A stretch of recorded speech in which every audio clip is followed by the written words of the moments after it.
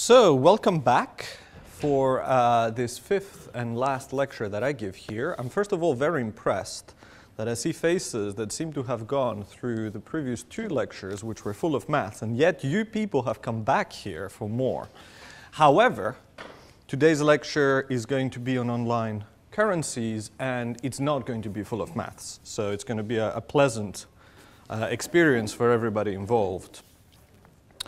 So the topic for today is online currencies, and this is, uh, I mean, this has been in the zeitgeist in the last 20 years in the research community, but it really has hit the, the news big time uh, in the last few years when everybody heard about Bitcoin. Okay, has everybody here heard about Bitcoin? Yeah, okay, good. Um, now, so you may think that this is a lecture about Bitcoin, but in fact it's not. It is only half a lecture about Bitcoin, but we will go much further back to understand why Bitcoin is what Bitcoin is, okay?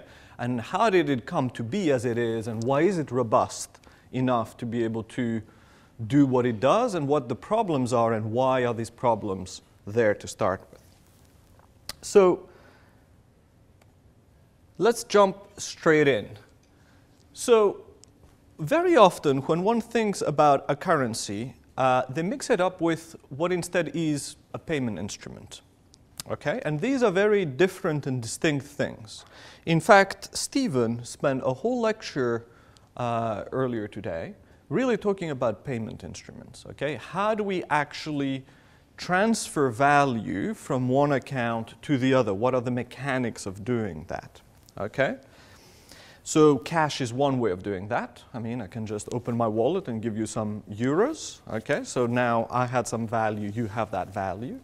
Uh, traditional Venetian Flor Florence ways were letters of credit, and this is how the Medici family made its fortune in uh, the late Middle Ages, early Renaissance.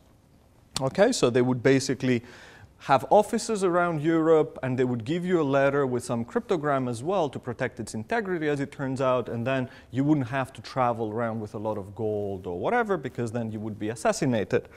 So instead, you would travel with that letter, you would turn up in their office in Amsterdam, you would show that letter to the local branch there, and they would give you some money for you to trade. Okay? So that was a very important instrument that started off modernity as we know it today. Other things that we have in the UK and here as well, I think, is uh, checks. Uh, you can also do bank transfer very easily, and you can use debit cards. All of these are just payment instruments, okay? And how can you tell that they're all payment instruments? Because effectively the value you're transferring is always denominated in euros or pounds or dollars or whatever, right? I mean, it's not transferred from euros to something else and then back to euros, right? Okay. Now, each payment instrument has advantages and disadvantages, and in particular, it has a cost. In particular, the cost of handling cash is enormous, okay? Because you have to have vans with guards to be able to do so safely if you do it at big scales. You have to have cash tills, you have to have training for using them, etc., etc. Okay? Now, different instruments also provide very different properties when it comes to security and privacy. And in particular, the key distinction between all the electronic ones that we know so far and the old style cash we had is anonymity. Okay? For cash, you can just turn up to a shop, you just give some tokens, you get the goods, no one asks you for your name. Whereas if you use the banking system, somehow your name is always associated with the transactions. Okay? Cool. Now, it turns out that cryptography has intensely been used for payments. The first part is really the traditional mainstream banking, credit cards, EMV protocols, but I'm not going to cover these because Stephen, presumably, Stephen, has covered EMV? Yes. Good. So you know all about EMV now. And there is some crypto in there to, of course, protect some parts of the transactions. The crypto is mostly not the most relevant part. Authorization turns out to be the most important part. Whatever. However, there was also a research track on how to make better cryptographic payments. Okay? And that research track is also quite old. For example, in 1990, David Chaum, who's quite a notorious cryptographer, and uh, has been around since the very beginning of public key cryptography at least, um, started a company called DigiCash. Okay, this is 1990. EMV protocols are standardized in 1993. Okay, so what is DigiCash? It's effectively a way of simulating the properties that coins have in the digital world, and in particular, that special property of privacy. You want the coins on one side not to be forgeable, particularly if they're digital things that you can copy around. You still want them not to be forgeable in a trivial way. However, you also want them to be spendable in a way that doesn't leave a trace of your name and what you bought everywhere you go. Okay? So sadly, his company went bankrupt in 1998, partly due to the fact that this idea did not take up, partly due to the fact that he probably was not the best business manager in the world. Don't tell him I said that, though, because he's a vindictive man. He was a visiting professor at uh, KU Leuven as well after that adventure. But one thing that you should take about payments here is that we can actually do that. We can have digital coins as a payment mechanism that simulate cash. And the model for doing this is very simple. Alice goes to some bank type entity deposit some real money, some euros, okay? And then she gets issued with the same amount of denomination in euros in digital coins, okay? So for each euro she deposits, she gets a digital equivalent of a euro. And then she goes to a shop and she spends that money, okay? Now, conceptually, Bob, the shopkeeper, has a euro, okay? But it's in this weird digital form, okay? And then Bob has to go back to the same bank usually and deposit it back. And then eventually he's able to withdraw an actual euro. Okay, so there is this kind of effectively the value transfer as you expect is from Alice to Bob via the bank, but it goes through this funny little loop, okay, in order to protect privacy effectively.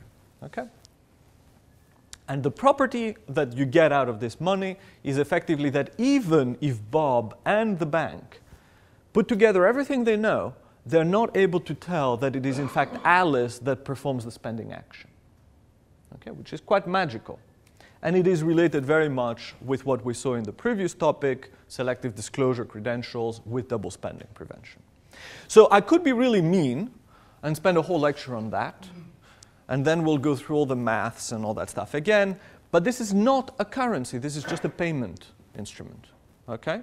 And one message that I want you to, to get out of this is that we know how to do this extremely well and extremely efficiently. Uh, I would uh, tell you to go and read the compact eCash paper from Eurocrypt 2005. That's the state of the art system for how we can do extremely well. Okay?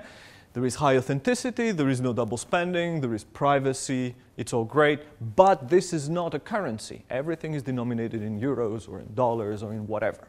Okay, it's just a way of saying these euros now go to this other account with some security properties electronically. So, what is a currency then? Right? What is a currency? We, we all take it for granted that you know we have these euros or these pounds around, but what is it? Okay? So a currency really is a way of storing and remembering value. Okay? And uh, it is also to store it across time, okay, so that you can basically perform some job today, get some value, but not have to spend that value immediately now. So you can save and buy bread tomorrow. In particular, you can work during your lifetime and then spend when you are retired and you cannot anymore work. Very important. Okay? Secondly, it's a way of storing value across transactions. Imagine I want bread and I have fish. Okay? if you had fish and you wanted bread, we could just meet and I give you the fish and you know I get the bread or the other way around. But now if there are three goods and three people, okay, and I want the good that you know you have and you want the good that he has and he wants the good that I have, you know, there is no transaction that can happen, right? There is an inefficiency there. Either I will have to be a market maker and say, well, you know what, I will buy whatever I don't want anyway in order to resell it and then create a market, or we would be stuck. Yes? I am not on mute. Good. so, so that sucks, basically. We don't want to have to barter. In fact, David Graeber, who's a, a, um, an anthropologist, uh, says that there has been never a society that worked on barter. This idea that primitive societies used to do barter and then we invented currency is just a fiction of economist imagination. It was just a way for Adam Smith to just explain the concept of a currency. It was not actually a historical fact in no way whatsoever. Okay, barter was never it. Okay, so currencies allow us to get out of this deadlock because what we do is we have this figment of our imagination to which we ascribe value. Okay, and therefore I can sell you my fish for some raw value effectively, which is this fiat currency, and then I can use this raw value because you also accept that it has value to buy the other good, and this way we don't have to actually have inefficient barter systems which never existed, by the way. Okay? Now, of course, you would say, it makes sense maybe instead of just having a figment of our imagination creating and storing value in our society to have something that maybe has some intrinsic value, something that everybody wants. What about gold? It's shiny, it's beautiful, right? What if, you know, we all agree that we would like more gold, okay? And therefore, I buy bread, I give gold, and then, you know, you buy something else and you give gold, and everybody uses gold, okay? It turns out that if you really look at the economics of the matter, this is again quite inefficient because suddenly we're tying in a value system with the intrinsic use people have of gold. Okay? So suddenly what would happen is the following. Either we would need more gold in our society to make gold things that are useful, such as, for example, um, telescopes, need gold, and scientific instruments need gold, and things that we send to space need gold, like actual gold, the metal, not just to look pretty. Okay? Uh, so if we tie these things into our value system, either they become too expensive, right, and then we can't send things to space, or we decide, okay, well, let's mine more gold then because we need to send things into space, and then we devalue our, our value system. Okay, both of which are not a very good idea because they're not really related to each other. Okay? So it turns out that instead of doing bartering, or instead of actually having a reference commodity that we use as value, it is actually more economically efficient to come up with a figment of our imagination that has no other use than actually to store value. And this is what we call a euro or a pound or a dollar these days. They're just figments of our imaginations. They're fictitious units to, that, that are ascribed with the property to store value. Good. So, what are the problems with these figments of our imagination? Okay? How do we create such a system that actually works for doing exchanges and storing value? The first thing is that somehow we need to control the money supply. Okay? And you can think of money as a commodity like many others. Okay? there is a particular number of units of money at any time. Okay? Let's say there are a thousand coins. Okay, there are a thousand units, let's say. Okay? And money basically acts as a commodity. Okay? People want it or don't want it in relation to other commodities because they believe more or less that it will actually store value for them for the future. Okay? And there are, like in any other commodity setting, three things that can happen. Either there is an entity that can inject more money, okay, so increase the money supply, or the money supply is fixed forever. It's just a thousand coins, and there will always be just a thousand coins, and there will never be any more or less. Or you can actually destroy coins. Okay, so today there are a thousand, but you know by some mechanism, you know some of them will not be valid tomorrow. Okay. Now, money is a commodity in that sense. So if you in fact have too much demand for money, okay, and not enough supply, the value of money goes up. Okay? If the money of value goes up, the value of the commodities goes down. Okay? And you have basically over time. And then you have deflation. That's a bad thing, deflation, for an economy. Okay? Why is it bad? Because it means that if today you have 10 euros and you can buy a skirt, and tomorrow you have 10 euros and you can buy a nicer skirt, your incentives are not to spend the money. You're going to hoard the money to store, to use it as a store of value to see its actual value increase. Okay?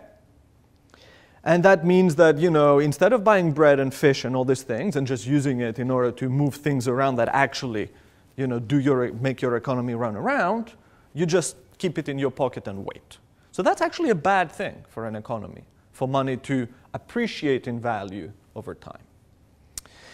Now, on the other side, if the demand is weaker than the supply of money, then money loses over time, then money loses its value over time. And that is called deflation. Okay? And that is also bad if you want if you have over you know, hyperinflation because it means that you cannot reliably anymore store value in it. If basically I, I get some coins for my fish and tomorrow I cannot get anything for these coins, well, I won't do that either, right? So that's also not a very good idea. So it turns out that there is this basically, so on the other side, you know, not generating any money turns out to be okay. But there is basically this, this tension about these things, okay? And in particular, there is a tension here because what is fairest, okay, namely not generating any new money and not destroying any money, this is actually turns out to be fairest in the sense that you know you don't actually tax the people who already have money or the people who don't have money, which is what happens if you have inflation or deflation. It's also not a very good idea if you want to grow your economy, because your economy does benefit from a little bit of inflation, not any deflation, not hyperinflation. And this is why if you follow the news, in the Eurozone there is actually a target which is about 3%, okay? Or something like that. Is it 3%? Is anyone from Ireland here? Can, how much is it? 2%, 3%? 2%. 2, okay, sorry. You know, these days, coming from Greece, it's 2, 3, you know. Okay. Good. So there is this idea of the money supply, namely that you know you can inject or you know remove money from circulation to you know accommodate how much value it has over time to different goods. But of course, there is a really key question, which is who controls that? Okay, who controls that? And this is going to be very important for us because the answer traditionally is the central national bank. This is, in fact, the job of the central bank. The central bank does not, you know, accept deposits, okay? It actually manages the money supply, okay?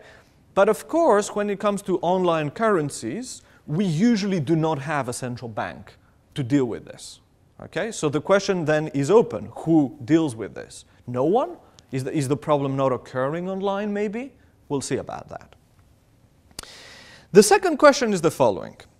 If somehow, through some mysterious way, the money supply increases or decreases, okay, it means that there is new money in circulation or some money has to come out of circulation. How do we determine which money gets out of circulation, if that is the case, or to whom goes the money that goes into circulation?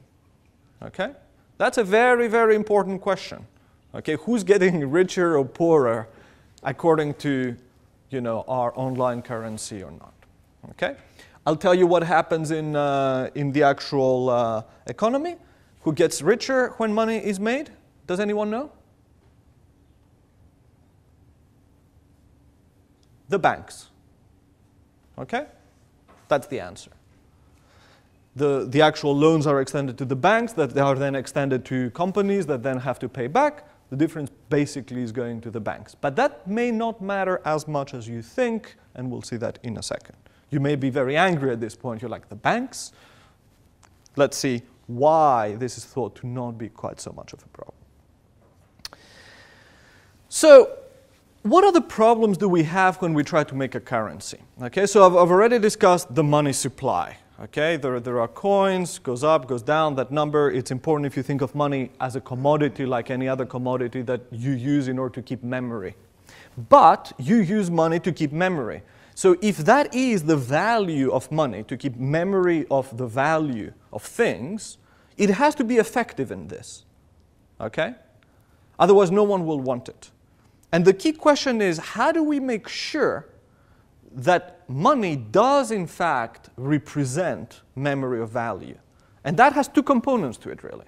The first component is how do we make sure that no one forgets that you actually generated some value and now you have some money? Component number one. And secondly, how do we make sure that tomorrow people will still value it? At some level. They will not just be like, you got what? Monopoly money. Thank you. We're not interested. Okay? So that's the second component. And then finally, if you have grand ideas of conquering the world and launching your own currency, one important question is even if the money supply is stable and you don't have a problem of distribution down the line, how do you initially distribute these thousand coins? Okay, so let's imagine I want to make a, a currency today. How do I actually go about deciding who gets the money to start with in order to then have an economy that grows and makes me even richer? Okay? Or you richer, or the country richer, whatever. Okay, so these are all the important questions. And again, Payment mechanisms have to deal with none of those, okay, because they're not currencies, and currencies have to deal with all of those because they're currencies, not just payment systems. Okay, so don't get mixed up between the two. Very different problems. Okay, so let's uh, jump straight into bad ideas that we have learned a lot from. So in the early 2000s, actually late uh, 1990s, there was Mojonation. And Mojonation was a peer-to-peer network that had as an aim to facilitate distributed storage of data. Okay? So the idea at the time was that since uh, personal computers were everywhere and they were all connected to the internet, why would we need big services? Well, big services were not around anyway. It was not yet the era of cloud computing and Google. So why don't we use each other for storing files and for downloading blocks of files and for doing piracy at a grand scale. Okay, you may remember that it was roughly the same time that Napster had collapsed under legal troubles. So every, all of these guys were like thinking, okay, you know, can we do Napster? Uh, or something like Napster, pretending that we're actually doing backups for each other, but actually let's do Napster, without having a central place that can be raided by the feds and closed down. Okay? That, that was very much in the zeitgeist at the time. However, if you are in a peer-to-peer system, it was um, recognized, and you store files for others and you're asked to serve them back, it was recognized very on that some economics really matter. In particular, you need to do some kind of accounting of value because, of course, clearly as a peer, you are providing values to others by storing their blocks and serving the blocks. Okay? And if no proper accounting is that of that value, then people would freeload. They would ask you to store lots of things. They will ask you for a lot of things. Okay? And they will ne just never do anything for you. And in fact, all the incentives would be stacked for everybody to be doing this, which means that effectively no one would be doing any work for anyone else and the thing would collapse. Okay? So the idea was can we use a currency to incentivize good behavior. Okay? So the good people from Mojonation, um, and in fact it, uh, it included two key developers called um, Bram Cohen and Zooko, uh, who were two of the three first employees of Mojonation. I'll tell you more about them as we go along. So they thought, okay, could a currency help us here? A currency is as uh, its job is to store value, so it makes sense to have a currency. And they invented the mojo, which was the currency of Mojonation. And it was so central to their idea that they called the place Mojonation. And what is the idea of the mojo? The, the idea is that every time you're actually interacting with a client, so as a peer, you can either act as a client or as a server. You can be both. Okay? But when you interact as, uh, sorry, as a server, you can request for any interaction a certain payment. Anything you do can be associated with a request for payment. Okay? And then you will only execute that action if indeed the other side agrees to provide that payment, and then you do something for them. That something could be store a block or retrieve a block or even say hello, as it turns out. Okay? So the first problem, of course, they had is that, okay, you're a peer in there, you act as a server. How do you know how much to ask for? Right? I mean, Is one mojo good? Is two good? What, what do you think? How many would you ask for? As much as you can. But, you know, it's difficult to tell, right? So the first thing they did is they introduced a market mechanism on the server end of the protocol. Okay, so the idea was that you know that you have some spare capacity, some spare disk space or cycles or whatever that you, you're happy to put out for sale effectively. Okay? And then you get a queue of requests. Each request is associated with some payment that the client is happy to do, and you reorder them effectively according to that payment, and you effectively just prioritize the ones that pay you most. It's a market mechanism. Okay? It's just a market mechanism. It's a second uh, price auction, which means that you don't charge the highest one at the highest price. You actually find the closing price and charge all the ones that are within your capacity at the closing price. This provides stability. It's a Vickrey auction mechanism. It's incentives compatible. No one has incentives to lie. And you know, economics is beautiful in that sense. They give you all these theorems. So now, on the other side, you had clients, and what do the clients, how do the clients decide what to do? They basically say, okay, I'm about to do an action, I'm happy to pay that much for that particular action. Okay. So theory was beautiful, and the hope was, what was the hope? The hope was that the, the money will act as a control loop effectively. Okay? So as your as you're overutilized, you would basically increase your prices to reduce the um, utilization. Uh, and then clients would have to pay more to utilize you at the optimal level, and clients could not freeload because they would not actually have enough money. And then, by 20, uh, 2002, the service experienced an economic meltdown. Actually, it's, it's a beautiful economic failure, even though it is quite controversial that it is really an economic failure. I think that by now we really have a good idea that it was a pretty much a purely economic failure that happened. Let's look a little bit at what went on. So, uh, Jim uh, McCoy was actually the CEO of Mojo Nation, and he says for core messaging protocols, some clever users figured out that they could steal everyone else's credit by setting an outrageously high price for responding to just this hello message. Okay? So in order to talk to someone, you know, you needed to pay already. And some people said, well, you know, if for you to talk to me, you have to pay to start with. And then the, the, interesting part in orange starts. He continues saying, responding to this problem required us, this is the Mojo Nation developers and service operators to hand out more credits to existing users. Okay? So there was a little bit of a mud fight on a mailing list. This is where I took out this, uh, these quotes from. And uh, on the other side, Daniel Nagy concludes something that is quite compatible with this, that first, Mojo Nation uh, allowed some unbacked currency, so it's not backed by gold or by some work or anything like that. And then they just handed it out without actually requiring users to do anything to get it. Okay? Then the prices started to go up, okay? Because there was basically a lot of supply of money, okay, in comparison with the supply of goods, okay? And the and they did not feel, the operators did not actually feel any pressure to reduce their prices because there was an oversupply of money coming in. Okay? So that is leading to a market collapse that was meant to do this feedback loop. Okay? Suddenly, precisely as described above by Jim, this is the original quote, the operators found a system with an insatiable thirst for mojo. So people wanted more and more mojo in order to be able to use the service at all, to even say hello to client, to, to servers, okay? And then they had to keep pumping more money into the system to allow people to even talk to each other, okay? And he's, he concludes it's a classic case of runaway hyperinflation. So what happens here, right? According to what we discussed, a, a currency and a monetary system is about, okay?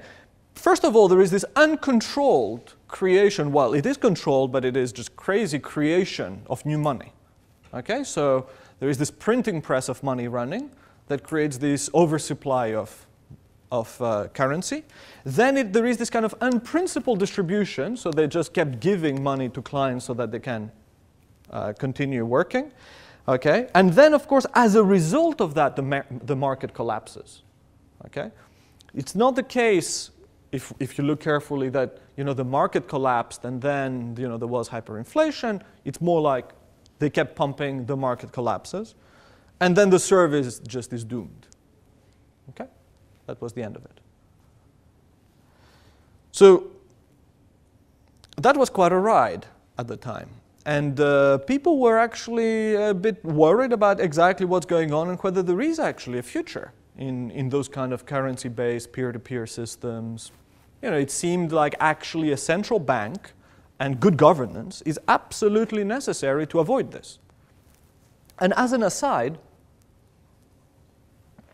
which we will not discuss at great length because there is no crypto, decentralized, no interesting computer security element into it, this phenomenon has also happened in a number of online games that have also some integrated uh, system within them to you know buy goods, flaming swords, you know killing monsters gives you gold, and then you can buy swords and sell them on eBay, etc. And many of them have actually collapsed under very similar situations. To play the game and have fun, users need to have some money.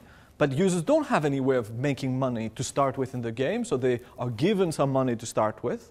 Second Life is an example of this. When you get an account, you get some money to start with. But then, you know, it's not very fun to continue playing the game if you run out of money. So every week they were giving people money. And right now there is basically this situation where the actual assets they have does not anymore back their currency and everybody's waiting for them to collapse. This is in the case of Second Life. Other games have already collapsed under that, and what they do is basically instead of hiring economists to deal with that problem, they just reboot the world every six months when you know, things start going crazy, they just reboot it. If only we could do the same thing for Europe, that'd be nice. Uh, we're about to, I think, when everybody goes bankrupt. So, in any case, so this is not a, a, unique problem here to just their system. And in fact, it is not even because it was totally decentralized that this failure happened. In fact, the money supply was centralized and it was very poorly managed indeed. Okay. However, as I mentioned, two of the first developers were Zooko, uh, who's famous for Zooko's Triangle, uh, about naming. Uh, but the other one is Bram Cohen. And Bram is famous for something else. So in 2001, and while uh, you know, Mojo Nation was in its deathbed, effectively. Mojo Nation as a company closed down in 2003. The project continued as a free software project until 2005, and then it just died out a little bit. So Bram Cohen, while uh, he was seeing Mojo Nation go down, was busy designing this other protocol that is now known as BitTorrent. Okay? BitTorrent is a great success in comparison with Mojo Nation. And uh, in fact, it is a not insignificant fraction of the backbone traffic currently. Okay? And Zooko in 2005 reflects on Bram's design of BitTorrent, and he says that in fact, several of the ideas from BitTorrent that, that went into BitTorrent were just a deep understanding and a radical simplification of the monetary system in Mojo Nation. In particular, he says, one can think of the mechanisms implemented in BitTorrent as just time limited, file specific, non transferable accounting. Okay, who knows how BitTorrent works? One hand? Anyone else? Okay, good. Who knows what BitTorrent is? Okay, good, good, good. We're, we're on. So BitTorrent is a way to exchange big files in a peer-to-peer way. Okay?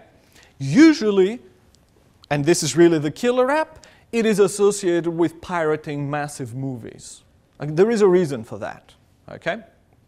But there is also legitimate content such as downloading Linux distributions or whatever else. Okay. So how does it work? The idea, at least in the very traditional old-style BitTorrent, I'm not going to talk about the latest BitTorrent, like in 2002, what was the idea? You have effectively a tracker that keeps track of who is interested in a file. So let's say we're all interested in downloading the movies associated with SecAppDev, yeah? So we all immediately go to our BitTorrent, we follow the tracker that keeps track of who cares about SecAppDev, and we're like, okay, great, you know, where's the, where's the stuff? Okay, we want it. Then Johan joins with the movies, okay? And he's called the seeder because up to that point there is no one with the goods in the room. So he joins with the, the movies that he just has edited. Okay? And now he's seeding, and he's seeding because he's not really asking for anything. He's quite, he's quite altruistic in giving without actually requiring anything himself. Okay? And then what happens is some of us will connect to him and request some of the blocks. Okay? And because he doesn't need anything in life from us, he, he already has all the blocks of all these movies, he just made them, he will just give us blocks at some rate, at some low rate even. Okay? But it would be super inefficient if all of us just swamp him and he had to basically give us all the blocks and all the movies. It would be no better than him just running a web server and just serving the movies. Okay? But BitTorrent does something slightly more clever. Because we all know that we each other have an interest in these movies, we can also connect to each other and request blocks from each other. Okay? So suddenly it is not just all of us going to one person and downloading everything, it is also going to each other and downloading things. However, how do you avo avoid freeloaders? What if I just, you know, go to everybody and say, could you please give me blocks, give me blocks, give me blocks, and actually never help by providing blocks back to anyone else? That's antisocial behavior, and you want to incentivize against it. This is what Mojo was for. Okay?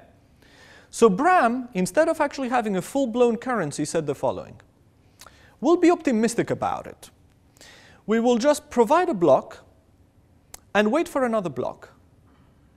When we get another block from a peer, so we, we create a link between two peers, provide a block, get a block. When we get a block, we provide another block. When we get a block back again, we provide another block. And that implements a tit-for-tat strategy, which means that if you're not behaving according to the protocol, and you don't ever provide back blocks when you're asked to provide back blocks, you will just get some blocks, but the rate at which you receive information is going to be very low. Okay? Is that clear? That there are good reasons for you to provide blocks because this way other people will provide blocks at a higher rate. Good. Now, is that a currency? Not so much. It doesn't really store value very far. So it is a currency insofar as you store value by providing a block to your communication partner for the duration of that torrent, once we download the file, both of us will just go away and we'll never remember that we helped each other. And only for that torrent. Okay, so it's limited in time because once we do the business, we're done. We cannot store for our, you know, I cannot just give you a lot of movies now and then get some more in a year's time. No. Um, and we also don't store them across torrents. So, you know, if we if I provide you a lot of blogs about one movie, but I'm actually interested in another movie, there is no way of actually storing the value across those two exchanges. We both have to care about exactly the same material. And what incentives does that create? It creates incentives for actually sharing big files or aggregates of files. So very often you will see torrents that are not just about the latest episode of a series, but that package together all the episodes of all the series ever, the whole of Doctor Who, okay, which is like gigabytes and gigabytes and gigabytes. Why is that? Because that in itself allows you to transfer value across a much wider array of goods so that maybe if you have the latest uh, episode of Doctor Who, you can exchange it for an older episode of Doctor Who. If the torrent was just the latest episode of Doctor Who and you already had it, you'd have no reason to actually participate in that. So far, so good. So BitTorrent, super great success, was influenced deeply and very directly by Mojo Nation, but it succeeds without a currency. Okay, it doesn't succeed in making a currency, it succeeds by not making a currency. So, let's go back to some theory. So, we already uh, have seen that one of the reasons, one of the reasons uh, Mojo Nation failed was because they were making money and giving the money away. Okay, and then the original question comes back, which is, well, okay, fine, you know, how, do you, how should you distribute money, even to start with? Okay? How do, you, how do you do this? Let's say you rule with majesty over this room, okay? And we don't have a monetary system, let's say, and we want to start a monetary system. Who starts off with the money? Okay? Now, to me, for years, this was a very important question, and I was super surprised that no one, was, no one seemed to be dealing with this question from an economic perspective. Um, and I always found that super, super bizarre. And then I discovered that it is because there is a very famous theorem called Coase's theorem, okay, that economists, particularly uh, classical, you know, uh, free market economists, really, really, really appreciate. And Coase was a Nobel laureate in uh, economics in 1991, I believe, I think. Yes, yes. And his theorem says the following that if you have any economic system, okay, and the transaction costs are zero, so we can basically make contracts and transact at no cost, no cost. And we can basically make contracts about everything. Your windmill is putting shadow over my chicken pen, and as a result, they are stressed and they make less eggs. I tell you what, I'll pay you some money, you pay me some money to deal with it at zero cost. For the actual, for the actual contract drafting, the, cost, the, the value is just after that on what we agreed. Like weird stuff. We can make contracts about everything. So he says that if indeed we live in a world like that, it doesn't matter how we allocate property to start with. Okay? The outcome will be economically efficient. Okay? And this is really the, the key here. The outcome will be economically efficient. So, as a result, from a microeconomist perspective at least, the initial allocation is irrelevant. Okay? Like you, you give people stuff, like ra radio frequencies. Actually, Coase developed this theory as part of trying to allocate spectrum frequencies, which is, from an engineering point of view is very interesting as well. And the states were asking themselves, how do we allocate frequencies so that there is no interference and all that stuff? And he said, as long as you basically have very clear property rights of who has what frequency, just give them out at random. People will make contracts amongst each other and the frequencies will end up in the hands of those who would benefit most from having the frequencies. How will that happen? If I have a big radio station with lots of backers and lots of advertisers, and you happen to have the frequency that interferes with mine, I will pay you off some amount from my great advertising revenue for you to go quiet. Okay? Therefore, it will be an economically efficient allocation. You will still you will stay quiet. I will buy your frequency, let's say. And you know, I will still basically, since I have the I am the one who generates most value out of having that frequency, end up with the frequency in my hands. It doesn't really matter how we get there. That's, you know, at the limit, it will all be fine. However, this is a deeply, deeply misunderstood theorem when it comes to online currencies and generally even. And the misunderstanding is what efficient means for an economist, particularly a microeconomist. Many people, particularly geeks, think that efficient means the same. No matter how I allocate resources, the result will be the same. This is not at all what the theorem actually says. In particular, the theorem just says that whoever generates most of the value in the world will end up also having the store of the value that corresponds to them. So for example, let's go back to our, uh, you know, our case where I rule with majesty and I'm thinking how to allocate the money. If I give you all the money, okay, and as a result you are the only one who can buy a chicken farm and feed yourself, we will all die of hunger. And this is an economically efficient allocation of resources.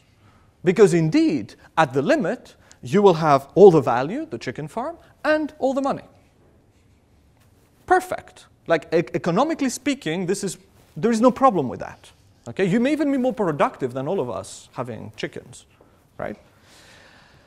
You may also, of course, be less productive overall. But microeconomists are not really concerned with aggregate measures of wealth. They care about, you know, what is the relative incentives of different parties in taking part in transactions. Okay? So it may be the case that you do end up with an economically efficient allocation that as an aggregate makes your economy worth zero. Okay?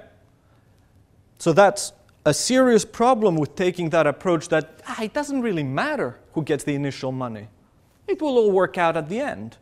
First of all, it work, works out for the individuals because whoever gets most money at the beginning will be probably better off to, to you know, at the end, okay? Because they will also use it to buy productive capa capacity, not just distributed around.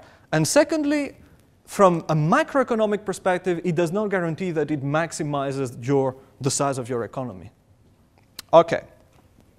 So, very important problem, very understudied in some respects in economics. We don't really have much to rest on to actually solve that problem as engineers. Like, you know, if you go to your economics department and you turn around and you say, can someone help me out? Either you will find someone who tells you it's trivial, Coase's theorem, or you will find some welfare economist who will tell you about hunger in, in, in India, but won't automatically know how to actually engineer the market mechanism to, to deal with that. Now, okay, so let's say allocating the initial money is difficult. What about new money or money that has to be destroyed? How should we do that? Okay? So there are many options. The first option is to give or delete money from people who already have money. Okay? But if you think about it, this is unfair to either the older generations who are using the money to store value for you know, their older days, or to the people who are effectively taking part, took part in some exchange and now are going to do something else because effectively you are taxing them. Okay? On the other side, you're not taxing those who hold capital, for example, and that you're not taxing those who are, let's say, young and are working to get the money. Okay, so that's not very fair. I mean, it could be fair in some respects, but not automatically fair. Another option is to actually not tax those who have money, but those who do not have money, to tax work. And you'd be like, what, what, are you, what are you talking about? But effectively, this is what, what we're doing, right? I mean, we are taxing productive activity. Okay, so that's an option. And that also has a problem, right? Which is that you disincentivize work. I mean, this is a, a well-known economic problem that politicians talk about all the time. The more you tax work, the, the less people have a reason to go and work. So it's not super fair as well, because if instead you just have money and it sits on the bank and you eat from it, you know, you're cool. Okay, so you're not being touched by that. And the third option is you give or delete money at random or uni uniformly. Okay? And it turns out again from an economic perspective, this is optimal. If you, you know, if you decide to add money or remove money, which already economists are a bit feeling a bit of taboo about that. Doing it uniformly across your population is good. Okay? Now, all of those have their problems, but from our perspective, this last one is particularly hard. Okay? As well as the second one is hard. Because if you have an online currency, who is the constituency that you will either give or remove money from uniformly? Is it everybody who, who's a user of your system? Well, no, those are effectively the ones who, who have money. That would be option one. Is it everybody in the world? Well, that seems a bit abnormal. Is it everybody in the world and their botnets? Okay, how do you even know how many people are in your system if you're in an online setting with no strong identification? You don't even know if the accounts you have are indeed people or if they're just fake accounts that have just heard that you're about to start distributing money in an equal way and therefore decided that it would be better for them if they're equal a thousand times rather than a single time. Yeah? So that is a huge problem for an online system. How do you avoid the Sybil attack, effectively, which is the attack by which one individual pretends to be a thousand in order to get some economic benefit? Okay, the opposite is also true. If you decide to delete uniformly, then people will pretend, conglomerates of people will pretend to just be one person, to only have a tiny little amount deleted from all of them, rather than have a tiny little amount from a thousand of them. And how do you avoid that? Again, it's not really clear. You end up having a shadow economy effectively being represented just by one account. So, these are specifically hard for online currencies. And then, of course, as I said, a currency is about guaranteeing memory of value. And how do you start off the fact that people trust that memory and trust that that memory will be honored the next year or during the next transaction that they're about to do? Okay? So, from an economics perspective, the only thing you need is a high integrity, high authenticity, append only log. And this is actually a very funny beast because this is also what most cryptographic, modern cryptographic protocols also require. A high integrity, high authenticity, append only log. Okay, you, if you read pure crypto papers, they all assume this thing exists. But in fact, building this thing is super, super hard. Building this thing in a robust way, in an economic way, in a high availability way. Okay? So that's the, the first aspect. The second aspect is how do you know that, okay, we write things in this append only log, but when we look at them tomorrow, when you look at them with someone else, they will actually recognize that you actually have some value and they should give you their fish for it. Okay? So it turns out that this append only log problem is at the source of our civilization. Not just a side thing that cryptographers are trying to build, it is a foundational piece of the Western and I think human civilization as a whole. This is an accounting mechanism from old Mesopotamia. What are we seeing here? So these things are tokens, okay, representing different amounts of crop or sheep or whatever that either are due or have been collected by someone. Okay? This bigger one is a big chunk of grain, the little ones are smaller chunks of grain. And then archaeologists keep finding those things, and of course, it's handy to put them all in a little bit of a wallet, okay, to, to not lose them. Remember, memory is all about not losing track, okay? So then they basically encapsulate those little things in this clay balls effectively, okay? And they just keep them in there. These things are hollow and you go clunk, clunk, clunk, you can hear them, but of course the problem with clay is that you can't see what's inside, okay? So what they ended up doing is giving those things a slightly different shape. This is 3300 BC, and this is before writing exists. Huh? I would like to point that out. So what they do is they basically take those things and imprint them on the on the clay before it actually gets hard. And you can see that there are three of those here and three kind of roundish, shallow holes. And there are three smaller little cone type things. And there are indeed three little cone holes. And there is a big cone hole, which is this thing. Okay, and if you open this clay ball, you find inside the actual tokens. Okay? So this system was the way they had to maintain memory about their accounts in order to bootstrap, as part of their accounting, their currencies as well. Okay? Of who owns whom. And there, archaeologists have found thousands and thousands of those things in dumps under the palaces of Mesopotamia. Okay? And in fact, these things existed before writing exists.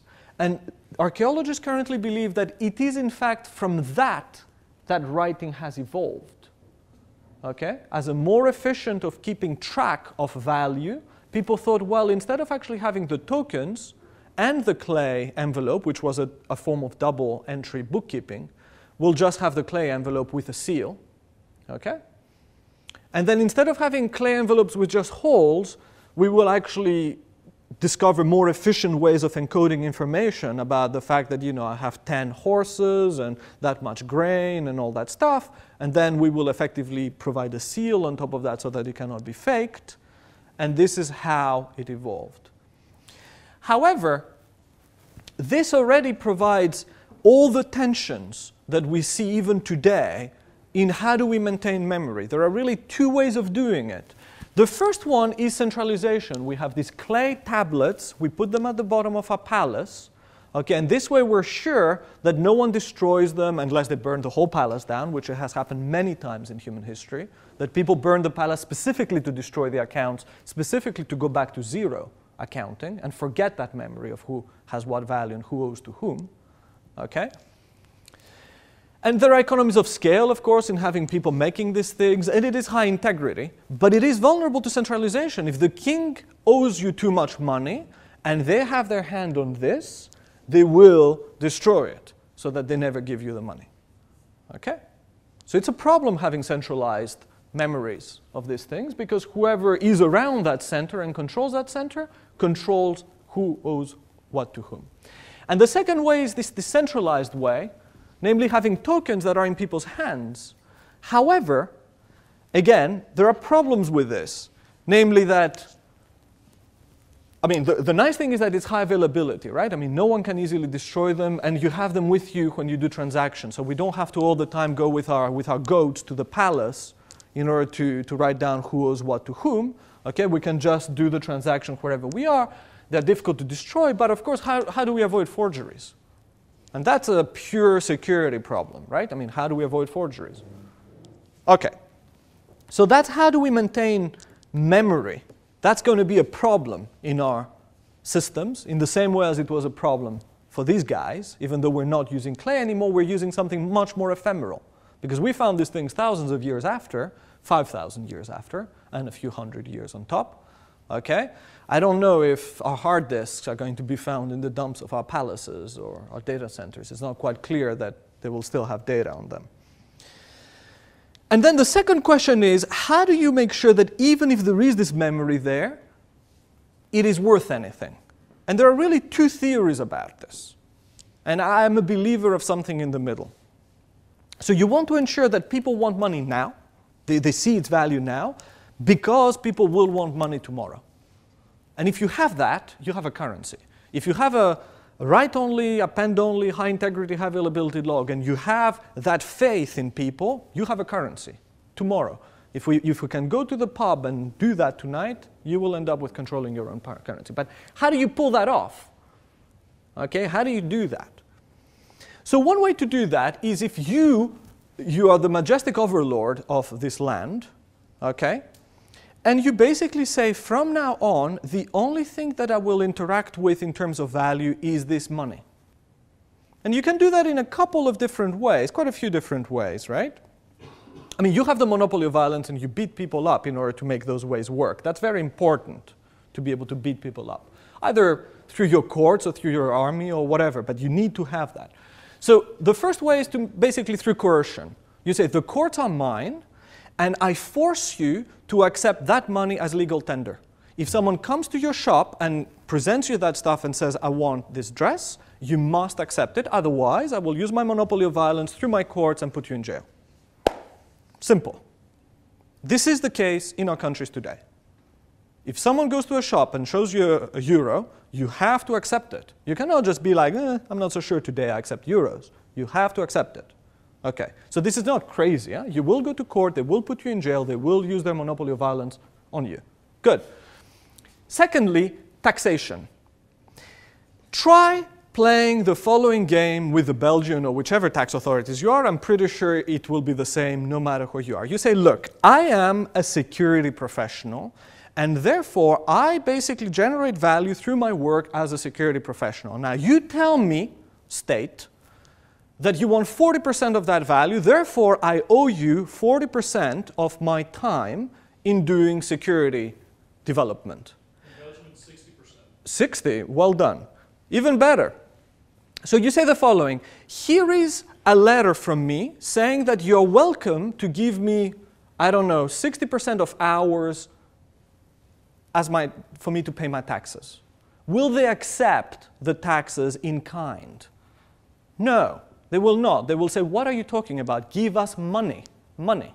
Okay? And this is how you make sure that everybody wants money because all the taxation has to be paid by mo in money. It doesn't matter if you use a barter system or whatever. Okay? It doesn't matter how you actually exchange value yourself. What matters is that you're going to be taxed in money, therefore you will want money. Okay? And this is a way of actually bootstrapping the need for money. The final way is, of course, for the payments from the state, particularly to the army and everybody else that works for the state, to be in money, not in kind or anything like that. And again, not all states had that. Well, not all jurisdictions had that. For example, in the Middle Ages, taxes were levied by serfs, from serfs in kind and were put basically in kind into the dungeon of the, the senior that was running this stuff. And then they were actually distributing to their cronies the, the wheat. Okay? And they didn't really have a very strong monetary system as a result. Later, they discovered that it's better to have a monetary system if you want to run a big economy. So, as a result of playing those three tricks, you make sure that today everybody wants money, and they believe that if tomorrow you're still the master, people will still want money tomorrow, and that bootstraps the process. Okay? Now, there are some people who say that there is no bootstrapping the process. This is the only thing that gives money its value. It's this game of coercion by the state. I mean, everybody's better off. It's more efficient at the end, but that's all it is. There are some people who say, well, actually, no, you don't even need bootstrapping. It's such a good idea that you know, people would naturally come up with it. However, what I think is more likely, and this is my personal opinion, is that this process is bootstrapped through some mechanisms, and then eventually money becomes money. And yes, you know, we don't need any coercion to now exchange value using money because what else would we do? right? I mean, we would exchange fish or gold. I mean, no. If, if money is the thing that has recognized value, people will use it. But some people say, no, this is it. This is just it. People just see how valuable it is and automatically go and use it without it. You don't need all Debt. That's the pure exchange theory of money. And I don't subscribe to either of them. However, I do recommend that the first 5,000 years because it talks about a lot of that stuff from an anthropological point of view. One may conclude from all this that centralized power is absolutely necessary. Absolutely necessary. All right?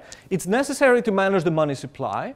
The supplier needs to have credibility and legitimacy not to abuse the supply, while a state may actually be in a good position to do that because they are democratic, legitimate, whatever. Um, you need to manage the initial allocation. How do you manage that? Again, democratically sounds to be, and centrally seems to be the only way. Uh, you need to create a constituency. So a state already has a constituency. It has citizens usually. You know who's in and who's out. Okay, and you know that everybody born has a stake in it. And you know, if you're born outside, you don't.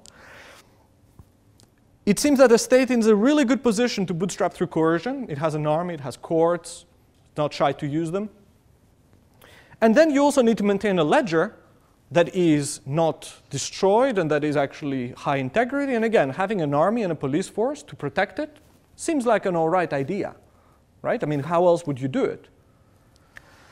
So, how could you perform all these functions without a centralized entity that basically looks like a state and that has monopoly of violence is, is really the question. However, centralization is not always good. And here is a case study of e-gold. Some of you, who has heard of e-gold before? Okay, good, good. So, eGold is again quite an old system. It was established in 1996, two years before PayPal. Okay? Three years after EMV, six years after DigiCash. Let's keep dates in mind because they have a point here. By uh, 2002, it had 1 million accounts, so it was not a small system. It was not Facebook, but it was not a small system. The internet was a smaller place as well at the time. And what it provided was a very simple idea, and it was not very crypto-like as an idea. It said, you know, there is a central ledger of who has what value, and the value is actually backed by gold. So it was not even a very interesting currency. It was a currency that was not even a fiat currency. It was backed by gold. Therefore, all these problems of why does it have value or not kind of go away. Gold has value, some intrinsic value and some market value. Fine. And it also had this, and that was a great commercial strength, a network of international resellers where you could go, buy some e-gold, wire it internationally somewhere else, do payments online, and also redeem e-gold into not gold, but local currency. The gold was kept in the e-gold safes, but you were buying a chunk and selling a chunk. Fine. Now, the problem with e-gold is that it really became a crime magnet. Okay, so all the criminals loved it. in the same way as they love Western Union because they could actually move money around across international borders, not within the mainstream banking system, okay, and in a way that was difficult for them to be identified. They had an online account that was very weakly identified, and then they could go to local resellers, put money in, take money out. Okay? Now, for a while, there was a bit of tension and a little bit of unease about it, but then as soon as the planes hit the World War uh, Trade Center in New York, things got a bit tough because new legislation passed, and that was very shortly after the terrorist attacks in 2001, that says that if you are, uh, I think it's called a money transmitter in the US term, namely, if you allow transnational flows of money, then you need a, a permit.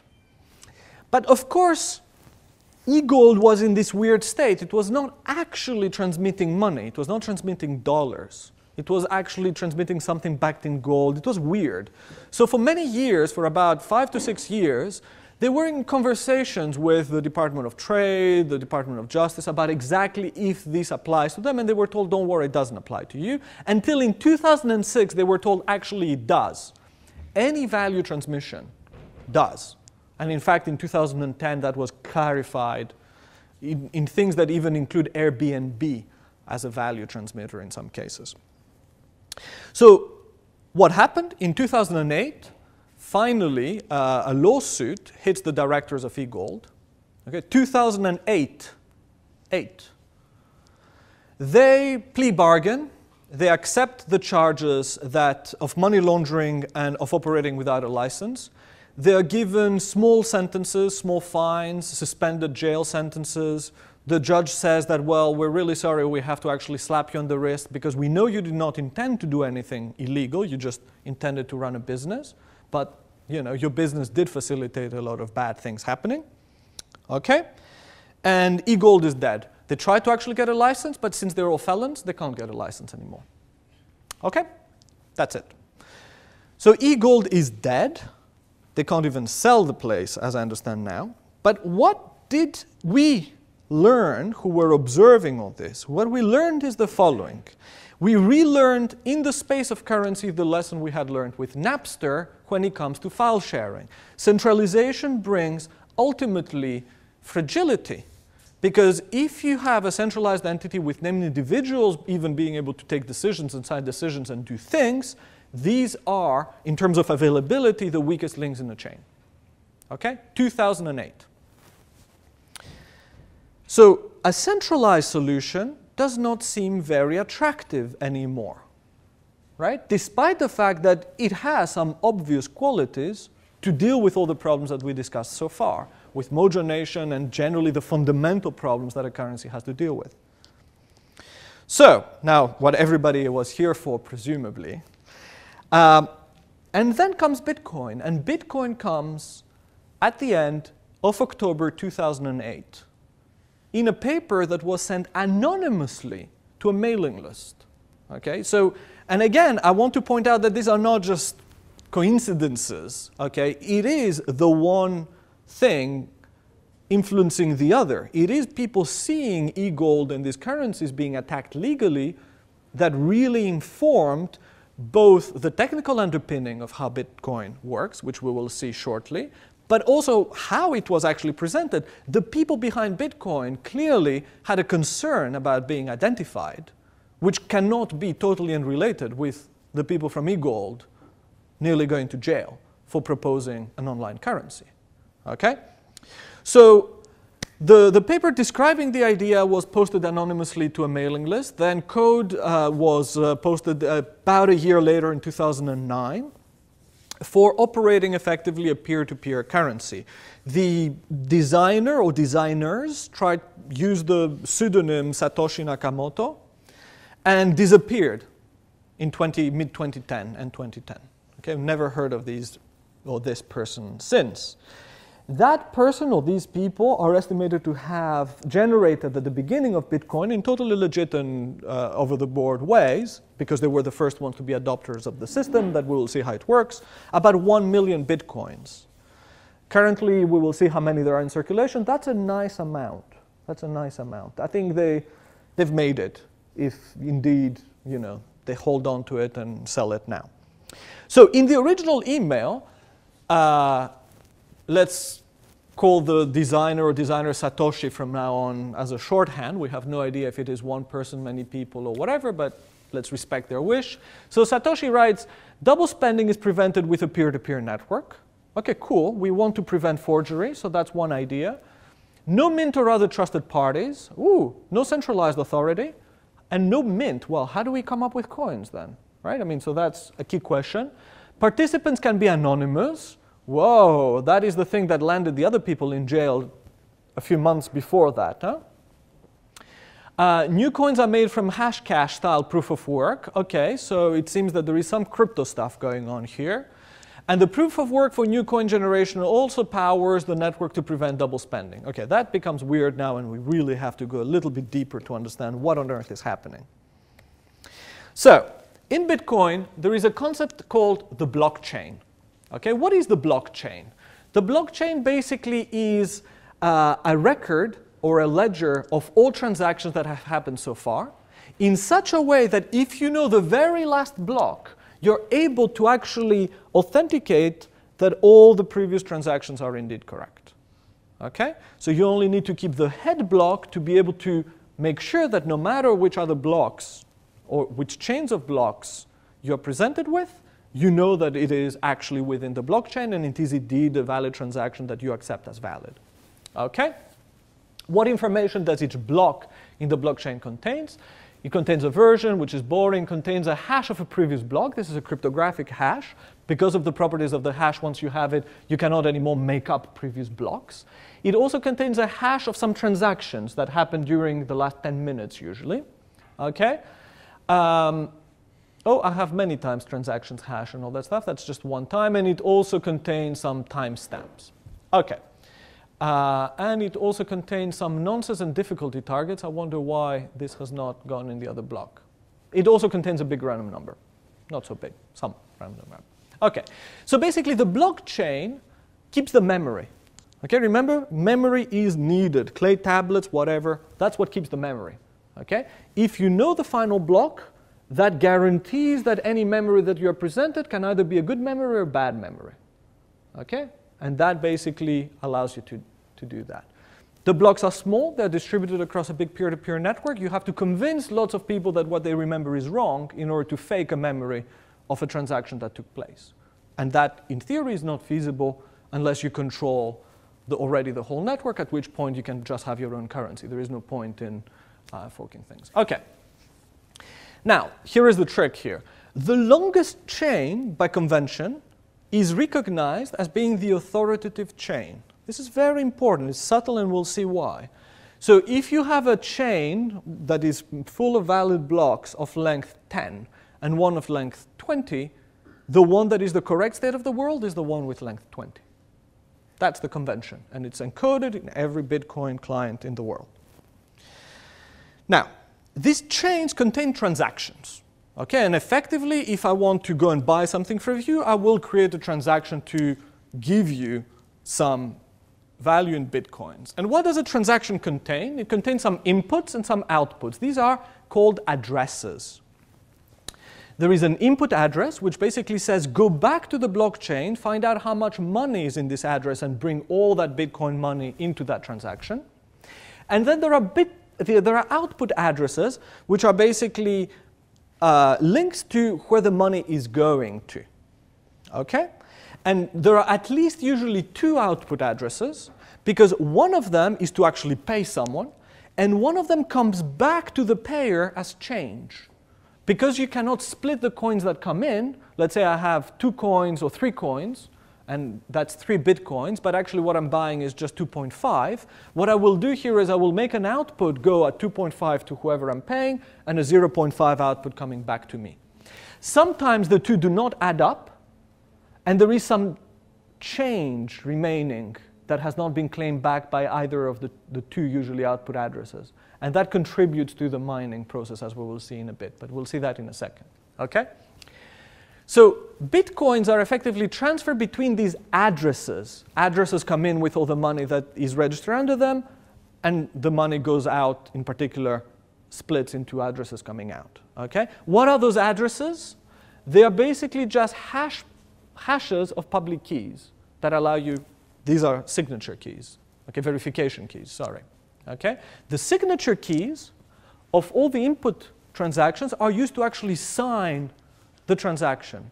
So for a transaction to be valid, you actually see what all the input coins are, and then you check that that transaction is signed with the, the signatures that correspond to those inputs. This way you cannot forge transactions. You cannot basically pretend that some money is going out from some account to another without the secret for that account in being involved in that, in verifying, sorry, in authorizing that transaction. Okay? So authorization is key here, and it is achieved through digital signatures, ECDH digital signatures. Okay? There are also some special transactions, and we'll see about those in just one second. But before that, where does money live, right? I mean, so I say that there are addresses and all that stuff. So first of all, the accounts of who has how many bitcoins are always encoded in this blockchain. Every big Bitcoin client has a whole copy of this big blockchain. But everybody shares the same one, and if you have the last block, you can actually just use anyone else's as well what you need to keep in a wallet is effectively the secret associated with each uh, address. If anyone ever finds that secret, it means they can sign for that address, which means that they can transfer the money to their account, to their address, and then you lose control of that. So there are many places you could store those secrets. Okay, they're, they're called wallets. One place is your device, like your mobile phone or your computer, but then if it gets hacked, People just walk out with all your secrets and then they sign out your money to someone else. You can keep them on a server, at which point if the server gets hacked, the hackers go out with everybody's money. And that has happened quite a few times, both of these cases. Okay? So the key insight here is that if you hack someone now, either a client or a server, there is real money to be getting out of this. Real money, I mean maybe not dollars, but bitcoins. So hacking now has entered a whole new era okay, where actually people go for stealing money in the same way as they would get into your house to take money out. Okay. Now, how do we manage the money supply?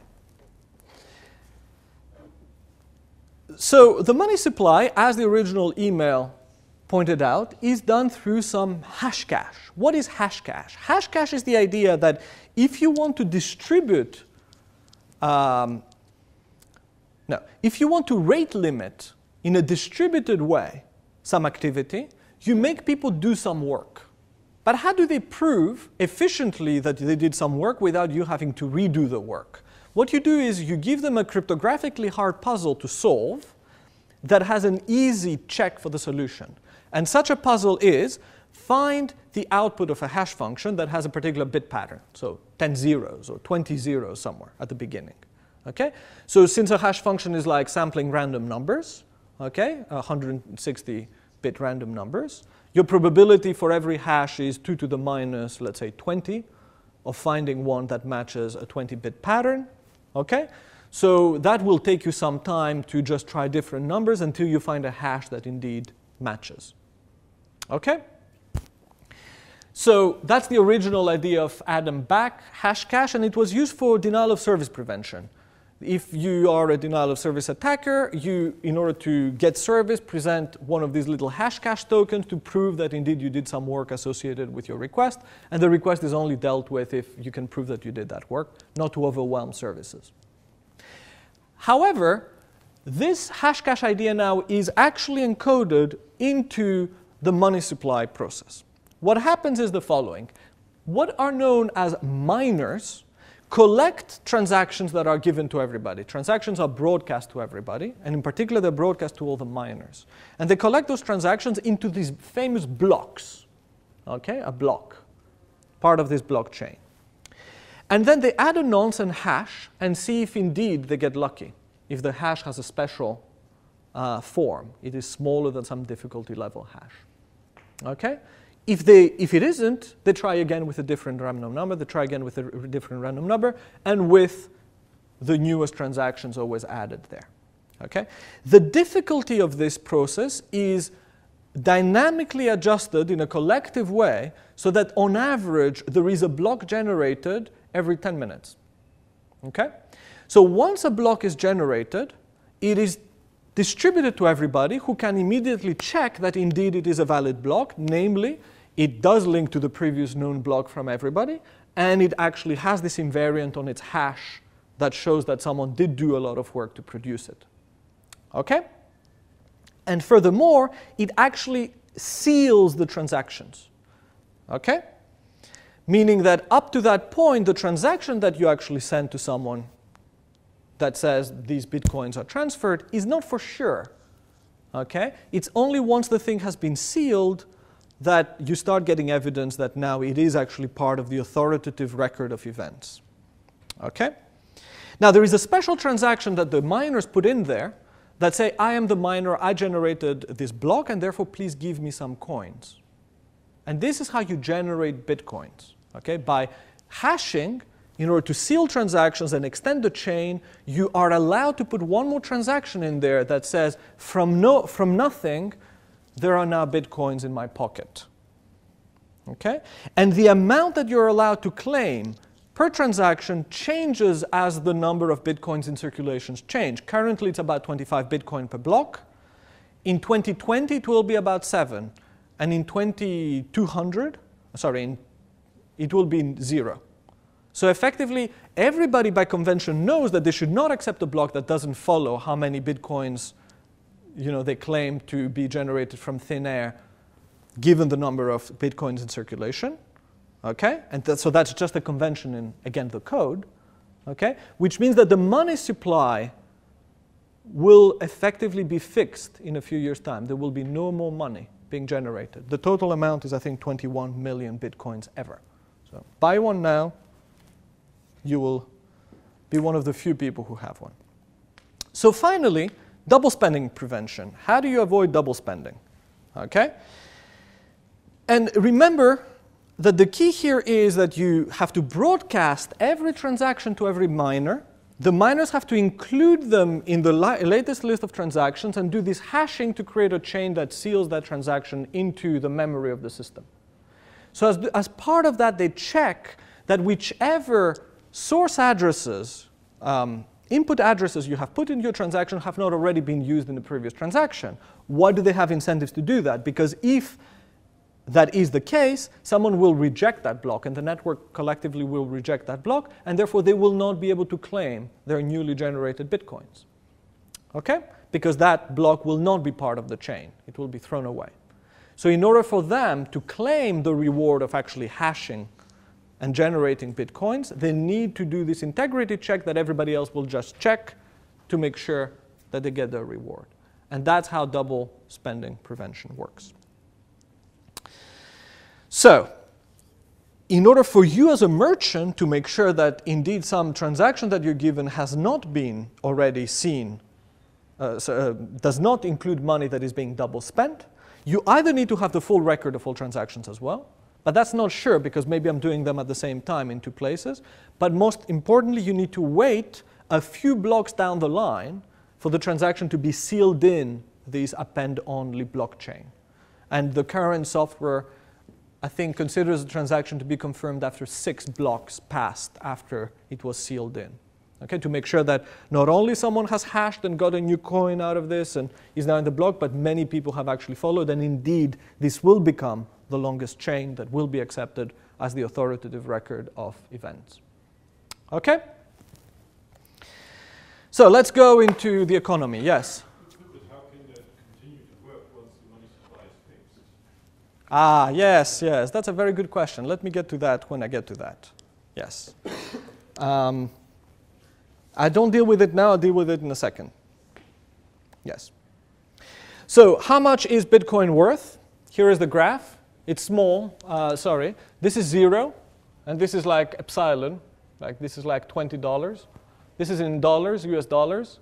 And in November 13, something happened. I think Cyprus went, you know, belly up. And then suddenly, Bitcoin takes off. There was a previous kind of hype, and then a previous hype as well in 2011. But this really kind of made it, and now each Bitcoin from $20 is worth about $600, a bit less than $600 last night. The high was $1,200. So if you happen to be doing scientific experiments and you bought like a couple of Bitcoins a few years ago, you've made it. Okay, you can now go and buy a car with a couple of Bitcoins. Well, I don't have expensive taste in car. So, meanwhile, this is the number of bitcoins in circulation. As you can see, there is a very stable curve. It's not crazy, like no one's pumping money into the system like the Mojo Nation people did. The curve follows the theoretically prescribed curve, namely a block is generated every 10 minutes, and indeed the feedback system does work in making sure that the difficulty is adjusted for that. Okay? And every block, depending on the amount of money in circulation currently, will generate some extra amount of bitcoins. So there is this kind of linear things with some state changes when indeed the, the, the, steepness of the curve changes, and it will eventually go to zero. And how Bitcoin works after that is a very interesting question. And this is the size of the Bitcoin economy. Uh, this was like a little bubble, but the little bubble made the economy a few worth, worth a few million dollars. Nowadays, it, it seems pathetic, even as a bubble. At the time, it seemed very big. However, at its height, this was $14 billion worth. Okay, of course, with Bitcoin losing its value, now it's about $6 billion worth. So it's a big economy. It used to be very small, now it's biggish. It's not as big as the US, but it's not insignificant anymore. So other key numbers. There are 60,000 transactions per day. If we exclude casinos and stuff like that, I have many very small transactions. Uh, every day, in terms of value in dollars, we have 50 to 150 million dollars being traded. So there is a little bit of liquidity going around. It's not just that everybody puts their money and forgets them. However, in terms of system expense, the mining process is estimated to be 22 million and some giga hashes a second. Okay? So this is massive. This is probably the biggest distributed computation we're doing so far, and it is useless. Okay? Its only use is to maintain the Bitcoin properties. There is no other use for this. However, the social cost of this is enormous. Okay? Rival, uh, Rival, which is a company that builds special hardware for mining, for hashing effectively, to, to create blockchains, estimates that per gigahash a second, some specialized equipment co costs $40. In December 2013, last December, 6 million gigahashes were added to the network above what was available before. So that is just people buying $240 million in equipment to hash. Okay? This is just the capital cost. I'm not even counting the electricity and the networking costs on top of that. Okay? So this is an extremely inefficient way of actually achieving what in a centralized way is achieved very straightforwardly, namely having a ledger that is high integrity. Okay? However, the advantage of this is that it's totally decentralized. Namely, there is no place you can go to and put someone in jail or tell them delete that transaction. And that's the key. Okay? Whoever has the most hashing power says what is in the blockchain because they are the ones with higher probability to get the blocks in. Okay? And the idea is that there can be no entity that controls the majority of that or even a small fraction of that because everybody is free to just go in and chip in. Okay? Now, that does not mean that the US, for example, cannot regulate that the whole system is illegal and that the code should change so that only the hashes of the treasury, the hashes of the treasury count double or whatever, you know, something crazy. But this is a hard thing to do because, of course, no one outside the US is obliged to recognize this. So we just go for a split of the currency rather than actually changing what Bitcoin does. Now, how secure, though, is this distributed consensus is a good question. And uh, remember that it is not uh, a race with a winner. It is not that if you can hash more than everybody else, you always get your block in. It is like a lottery the more hashes you, you can produce, the higher the probability you have of actually having your block accepted. Okay? Therefore, even if you have 1% of the hashing power in your hand, with 1% probability, it is your block that will be added to the chain. Okay? Which means that with 1% probability, you can actually drop transactions or fake transactions. Well, you cannot really easily fake transactions because there are these signatures, but you can definitely drop transactions. Okay? And that's not very good, and this is why you have to usually wait six blocks for transactions to really be confirmed. Okay? Because otherwise, you could actually generate, if you have significant amounts of computing power, you could generate two blocks that compete with each other, one that tells one merchant that you know, the money goes to them, and one that tells the other merchant the money goes to them, with probability 1 in 100, if you, you know, probability 1 in 10,000, which might be still worth it. Okay? So it is not out of the realm of the possibility that some blocks are going to be bad, but it is out of the realm of the possibility that the longest chain is bad because the probability of you getting your block in and being able to maintain the illusion of correctness and the inconsistency over time is astronomically small, even if you have a significant fraction of the network. Now, is Bitcoin really anonymous? Is an interesting question. The answer is no. Because money comes into exchanges, becomes bitcoins, or is generated, becomes bitcoins, and then has to be transferred in a way that you can follow the links from input addresses to output addresses across the network and then be taken out again as money, okay? Researchers have been following those links and effectively de-anonymizing transactions. Okay, so this idea that was originally presented that Bitcoin is this anonymous coin is not actually true. And we have many cases of this. So uh, researchers at UCSD wrote this very fun paper, A Fistful of Bitcoins. And they have many cases where they basically follow thefts of bitcoins and trace them to the points where they were actually exfiltrated as real dollars after that out of the network. In fact, they, they also discuss one case, that's case study three, where they couldn't really do that. But the reason for that is because the actual thief themselves realize that it's very difficult to do that. And out of the 3,250 something bitcoins they stole, 2,800 are still actually in the network. They have not managed to get them out in a way that is transparent.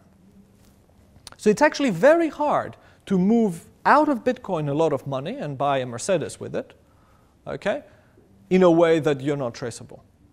Because it's only a pseudonymous system, not an anonymous system.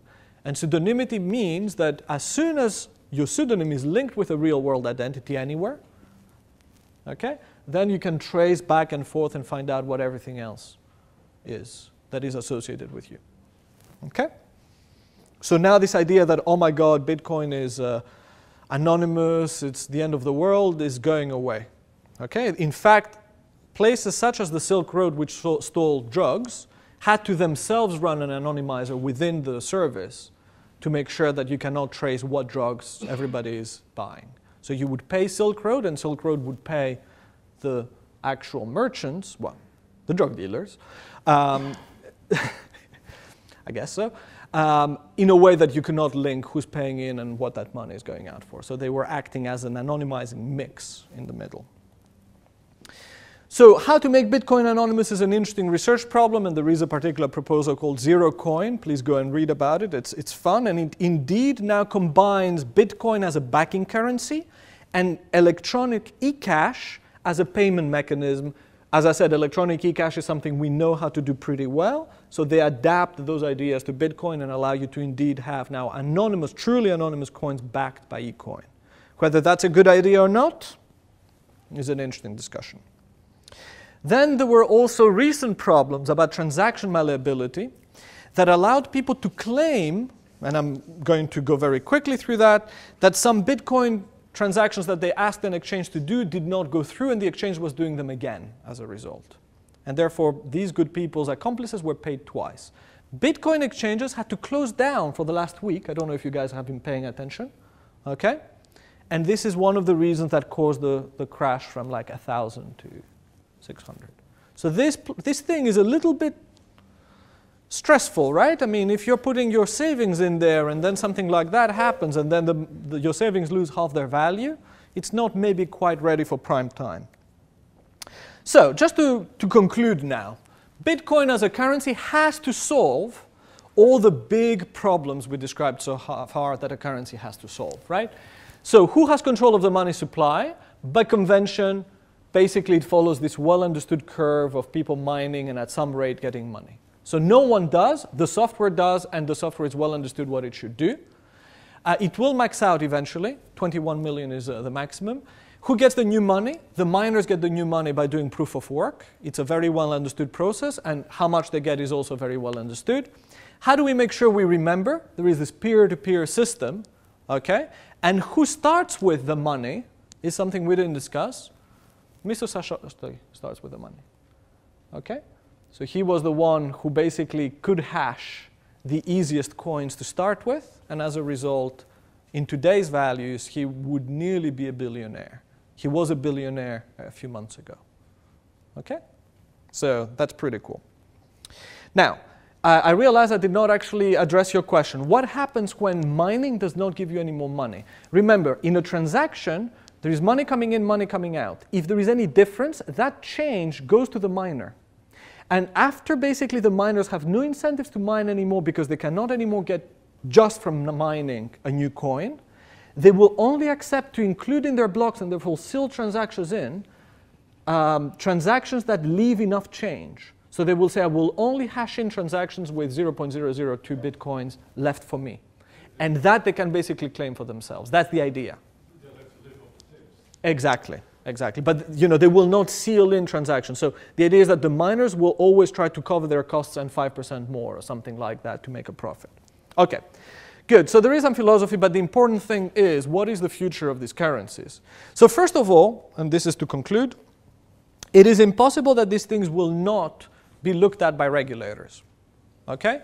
The US has already uh, indicated that it is a Bitcoin friendly jurisdiction. It's not going to go after Bitcoin in the same way as e-gold, partly because there is, it's very difficult to actually go after Bitcoin.